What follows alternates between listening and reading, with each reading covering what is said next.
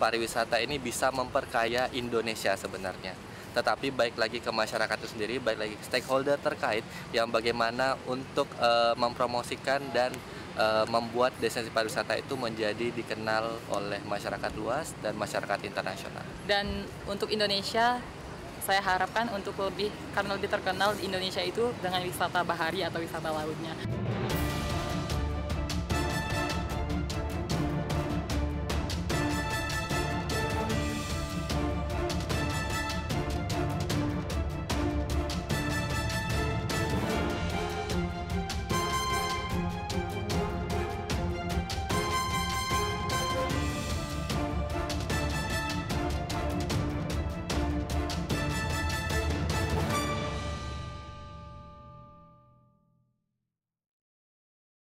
Untuk Tugu Katulistiwa ini sendiri uh, adalah salah satu monumen yang luar biasa pastinya karena salah satunya di Indonesia dan salah satunya di Asia Tenggara dan juga uh, Tugu Katulistiwa ini dapat menarik perhatian uh, para turism yang mau datang seperti hal-hal unik yang dimiliki oleh Tugu Katulistiwa.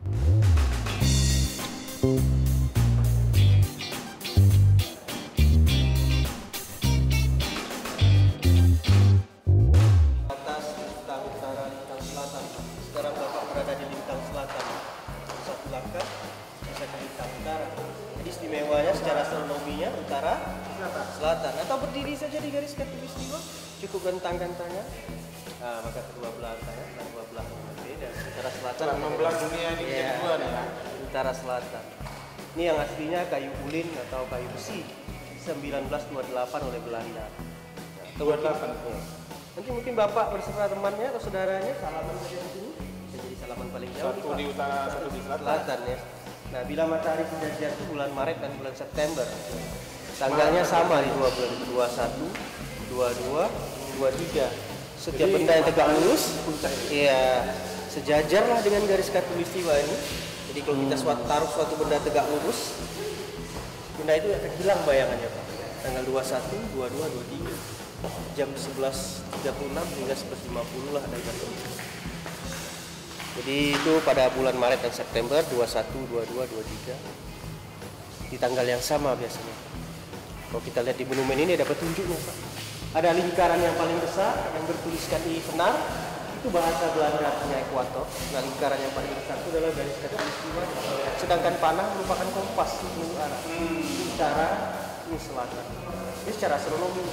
Kayu besi, kayu lin, kayu bilian, bilian namanya hanya koordinat sekarang kan mengalami perubahan bergeser hmm. dulu secara astronomi karena dulu menggunakan hitung-hitungan eh, dulu tahu dulu menggunakan hitung-hitungan ya. Hmm. nah, menggunakan ilmu falak ya. Nah, ini secara astronominya tidak menggunakan satelit. Tapi setelah diukur kembali menggunakan satelit bahwa koordinat ini dari nol nolnya bergeser ke arah selatan berarti ke selatan. Selatan.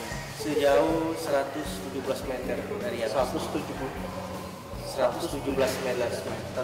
Yang aslinya pertama ke arah selatan. Selatan ya.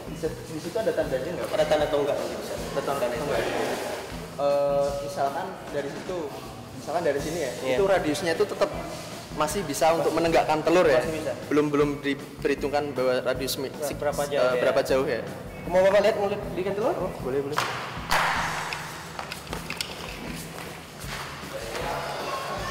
Telur yang sudah berdiri. Nanti sudah didirikan ya ini kita coba lagi berdirikan telur yang satu ini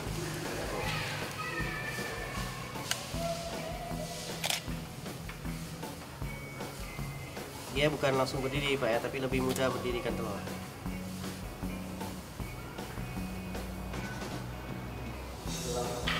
iya belum ada penelitian khusus apakah ini pengaruhnya di lintang macet atau dari gravitasi. Tapi kenapa sih nggak berdiri berdiri dari tadi? Oh, sabar juga pak ya, karena tidak langsung berdiri, tapi lebih mudah sini, mendirikan telur di sekitar tugu katulistiwa. Udah tukar telurnya tadi. Oh sabar juga lah, ini kan bukan langsung berdiri tapi lebih mudah mendirikan telur. Pak, apa namanya? Ini kan uh, bayangan ya kemarin hmm. tadi kan bapak bilang bayangan. Misalkan tanggal berapa tuh pak Maret ya Maret Maret kita berdiri terus nggak ada bayangannya Iya. itu pada titik itu atau Sekitar. sekitar ya Sekitar. berarti memang seperti ini ya Iya. belum bisa diprediksi Prediksi berapa jauh radius eh, karena radius matahari kan belum bisa diprediksi berapa belum bisa jauh. diprediksi